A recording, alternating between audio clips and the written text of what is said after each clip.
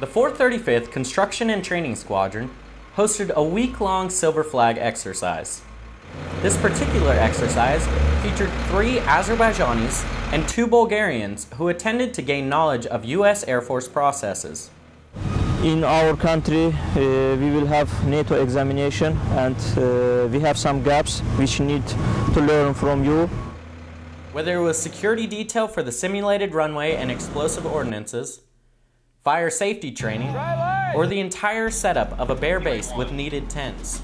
Azerbaijani and Bulgarian counterparts, along with more than 140 airmen, absorbed new knowledge to take back to their home stations.